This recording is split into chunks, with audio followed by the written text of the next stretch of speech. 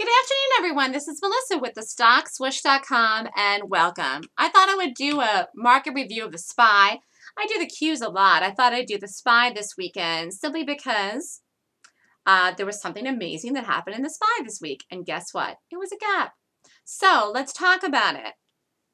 This gap that happened here back on the 11th was a very good gap and it is holding and is the one that created the momentum to get over this area here, over this big topping tail in the red bar over 169. Remember, these are areas. We got over 169 here. Was this bar here. Did a little follow through, expected it to blow. It didn't do it right away. It rested, rested, rallied, and held strong, even though we didn't have a fat green bar. And look, we could have very easily come in. I know everyone's saying, well, we're extended. We were never really extended, okay?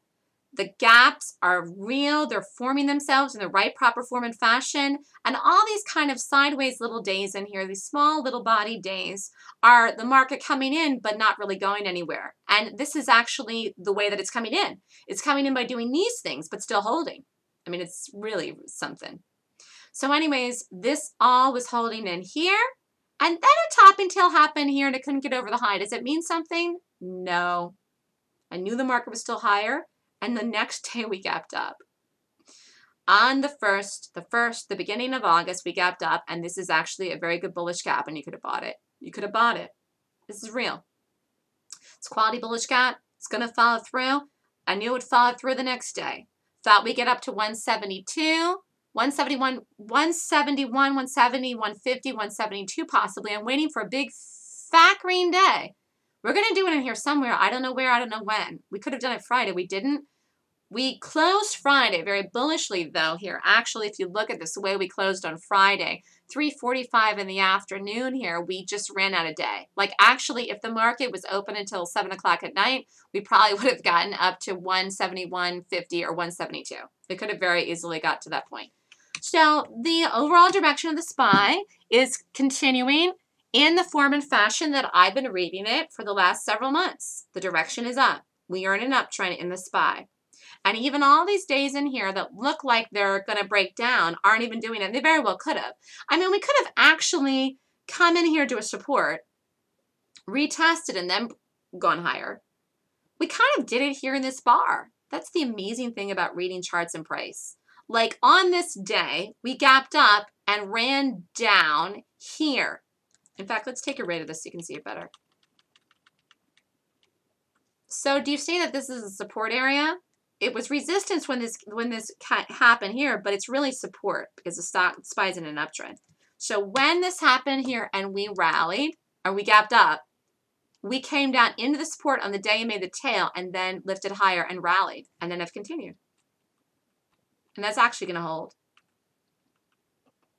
Now, I'm not sure if we're going to hold this, but to be honest with you, this is a great gap and it very well could.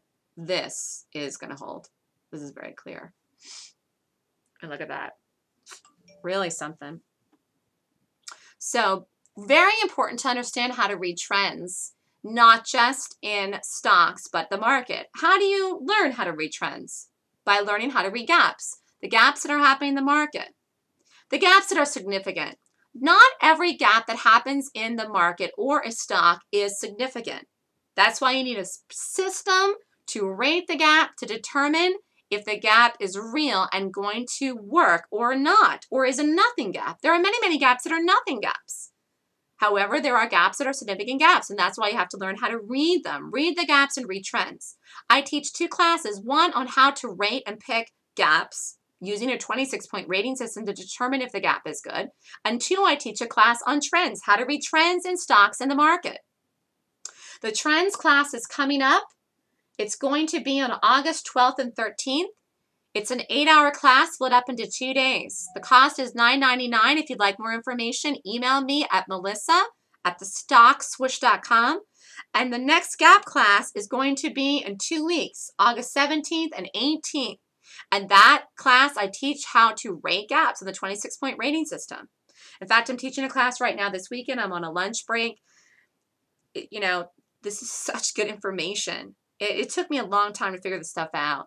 And as time goes on and the longer I trade and as the years go by and as I'm teaching people my information and system, I'm recognizing the power not just in the power of the information that I use to trade and I'm teaching people, but the very essence in the power of the gap. And I don't think that anyone should take any live position with money in the market unless they understand gaps, even if they don't trade the stock or the market the day of the gap, which, by the way, once you learn gaps, you will. But if you even don't, you should still understand what a gap is and what it means and which ones are good and which ones are not. So it helps you take other positions in stocks or exit them based on how to read the trend and the gap itself. It will help you trade better and more successfully and more profit and more consistency if you learn how to read gaps. There is nothing else that sets the price in a stock chart and tells you more information than a gap. And you have to learn which ones are good and which ones are nothing. So this is Melissa with thestockswoosh.com.